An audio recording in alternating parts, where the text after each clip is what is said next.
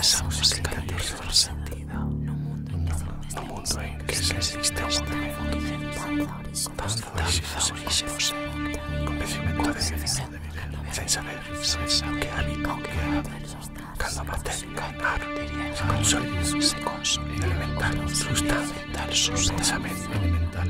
adoración neumónica do vento somente o somo que late ten saído adoración Es la. Resplandece estático un instante, como un grito, resonando na boca, que o entón, resonando e fuxindo, pois merece a inconstancia do rostro infinito, retornando a memoria. Que o.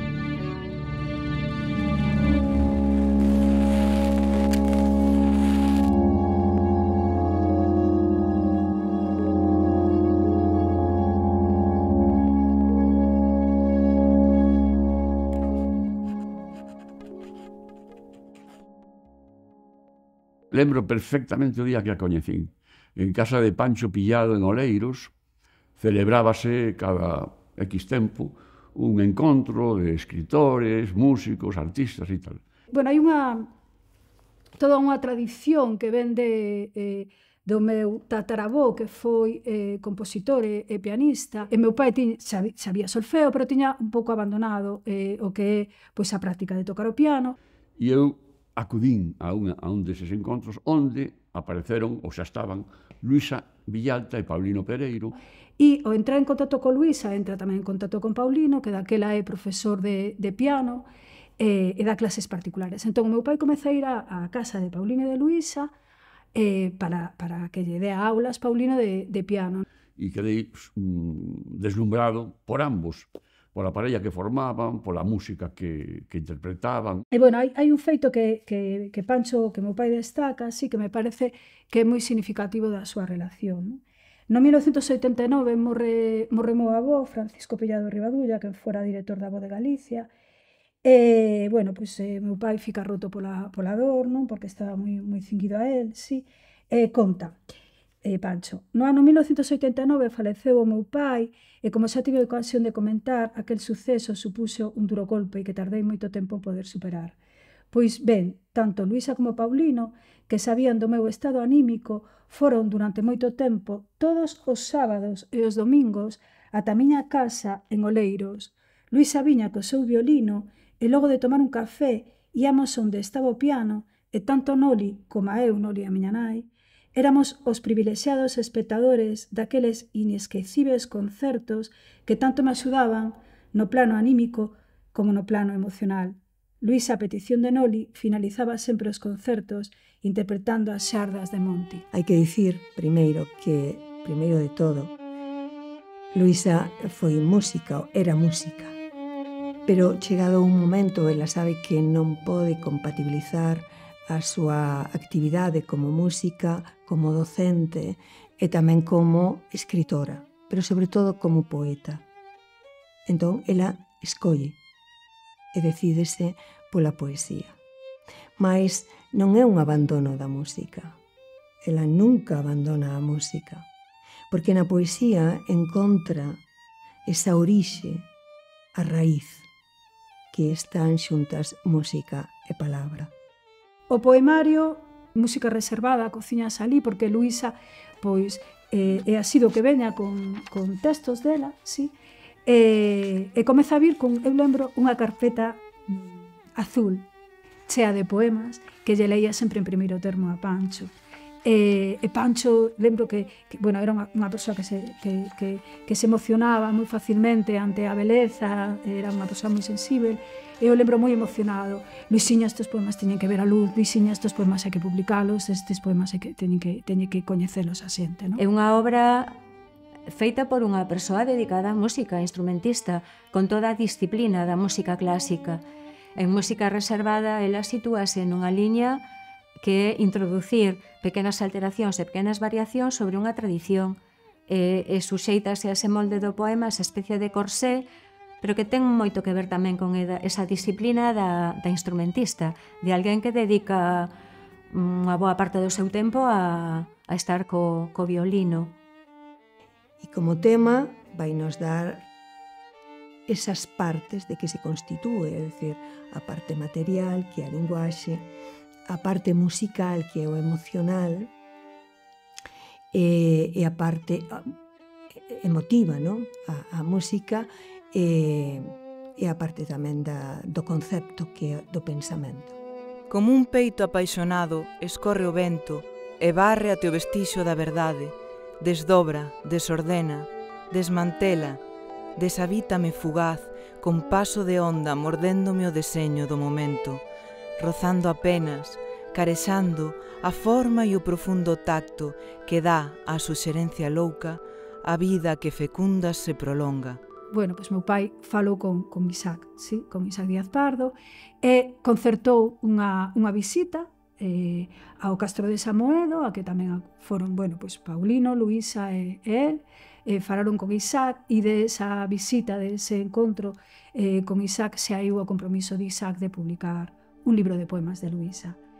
Días e días que lembro eso a Luisa con esa carpeta azul, eh, lendo os poemas eh, con Pancho e con, e con Paulino e decidindo que, que poemas eh, debían de estar aí. Non?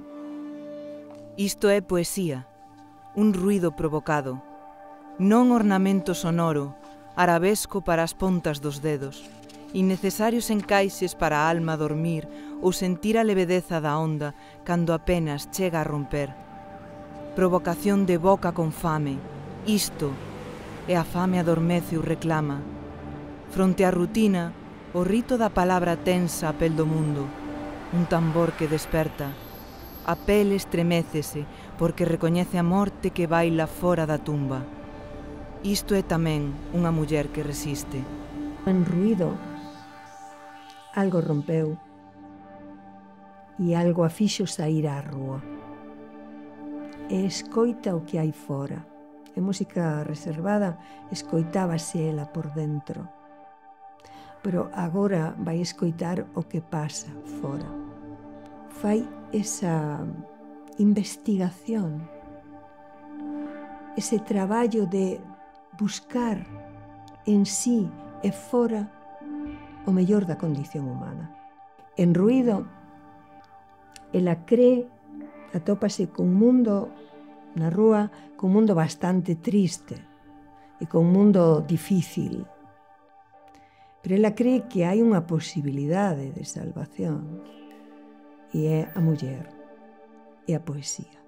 Porque se a muller está en loita, tomando conciencia de si mesma, está, tamán, está tomando tamén conciencia do mundo xa que logo é o ser humano máis eh, idóneo, máis acaído, máis adecuado para facer tamén a transformación do mundo.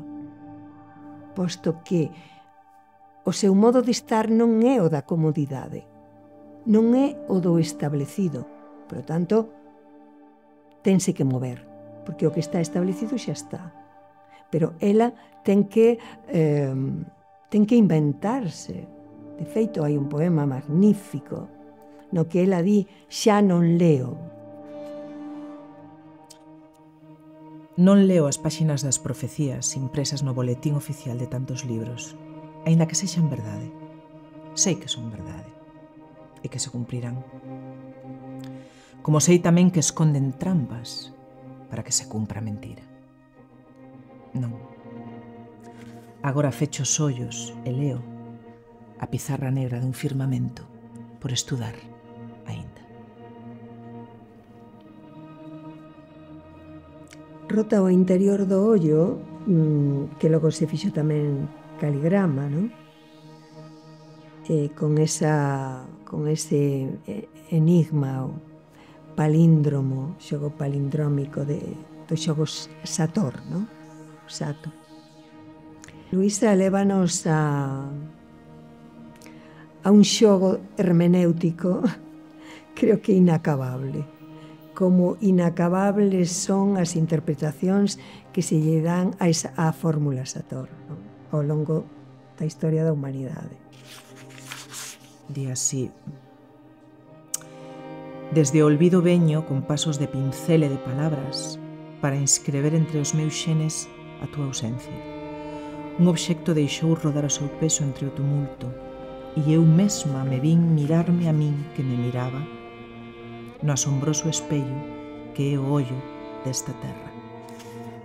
E dicir, ela comeza pola, por, ese, por ese cambio individual, ese eu, esa súa casa, esa cousa pequena, cidade concreta, Coruña, unha cidade, un recanto dunha península ou o norte do sur do hemisferio norte dun planeta do terceiro planeta do Sol a deriva, pero ten a capacidade de, de facer ese nos e facer ese zoom grande ata ese ollo enorme desta terra, non? E de, e de converter ese eu nun nos, en algo colectivo.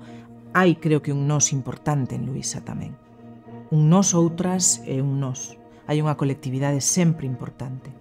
Non fala só dende o eu ou para o eu, eh, non é nese sentido autocompracente, senón que eh, sempre tende a facer un zoom fora, a ter unha perspectiva aberta do que significa ser muller, do que significa ser galega, do que significa vivir eh, no espazo-tempo que lle tocou, finais do século XX, principios do século XXI, e, eh, e, de, e de ser unha muller que escribe e que sabe.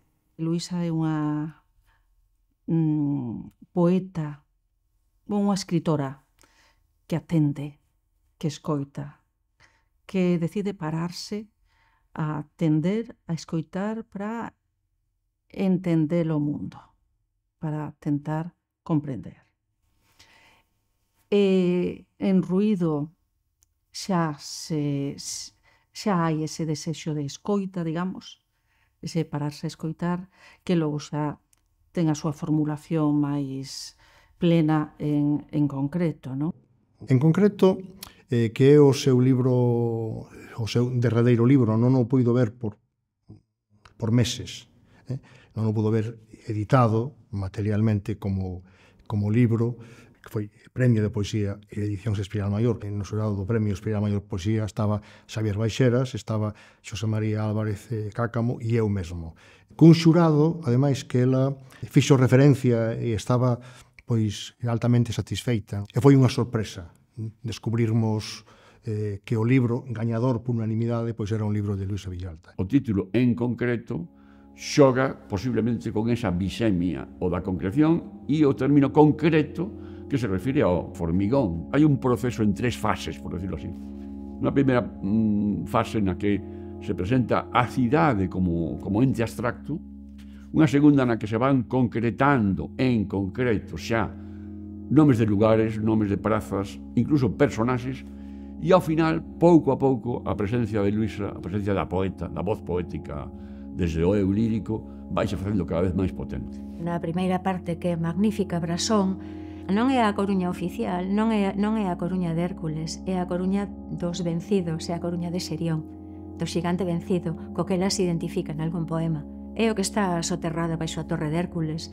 que logo liga tamén con algo recorrente en todo o libro que é eh, eh, a, a referencia ao río de Monelos, o río soterrado e aos ríos soterrados desta cidade, o que está na base do seu do seu bairro, non do Gurugú. É unha homenaxe á cidade da Coruña. A cidade da Coruña como, como marco, como teatro, unido a, á historia e á intrahistoria da cidade, E unido iso, neste libro en concreto, eh, tamén a un elemento xeral de, de, de cosmovisión do que é eh, a historia do país.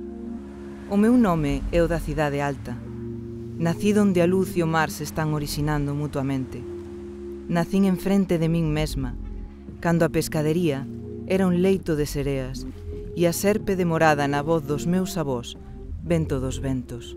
E aquí comeza a aflorar xa en Luisa Villalta na súa poesía pois un pensamento e unha eh, capacidade de eh, establecemento dunha posición ética e dunha posición de carácter político. Eu creo que todo está interconectado non? Eh, creo que de alguma maneira a música permanece sempre en Luisa e que se relaciona moi directamente tamén co seu, co seu activismo, co seu traballo público, ca súa preocupación social e política, que expresa moi claramente xa no que o campo do xornalismo, na columna de opinión nas, nas, nos artigos na nosa terra e vese moi claramente cal é a posición eh, e a preocupación e a ocupación de Luisa dende o punto de vista social, eh, político, tamén literario. Ten unha gran capacidade, ademais, de, de detectar mm, problemas que van vir adiantas en ese sentido tamén en nós do libro en concreto non? está tamén na súa práctica e no seu discurso ensayístico e xornalístico moi claramente, non? Ese, digamos, diluirse nesa voz colectiva que urxe repensar. A partir de ruido, moito en concreto, en Papagayo, eh, a poesía de Luisa é se eh, sair da, desa habitación, dese cuarto da música reservada, eh, lanzarse ao mundo. Eh, e acabar con en concreto e con papagaio con ese así vou eu formando parte, por fin formar parte, formar, par, formar parte dos outros, non? Que eu creo que é a grande loita na obra de Luisa. Claro que resulta tráxico e que cando tiña conseguido, pois, chegase ao final.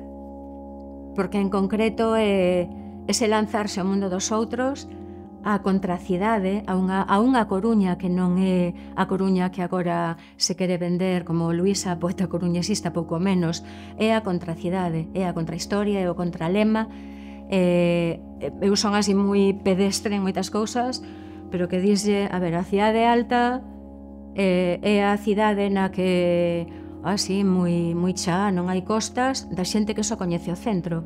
Eh, na zona na que eu vivo, por exemplo, aínda recentemente, veciños meus que se queixaban, ah, aquí non hai máis que costas. Eh, a cidade alta é a Coruña, xoga moito co seu apelido, a cidade alta é o Gurugú, onde ela naceu, onde viviu, onde morreu, e a cidade alta é, eh, coincide, é a cidade popular. É a cidade dos bairros das clases populares, todo o contrario da cidade oficial. Eh, e o máximo de descoberta desa contracidade, da contrahistoria, do contralema, Mm, eh, pois o, o derradeiro libro, eh, Papagaio, e a, a cidade mm, a cidade das grandes marxinadas, non? As palabras ingrávidas flutúan ás voltas da cabeza formando unha poalla sen existencia.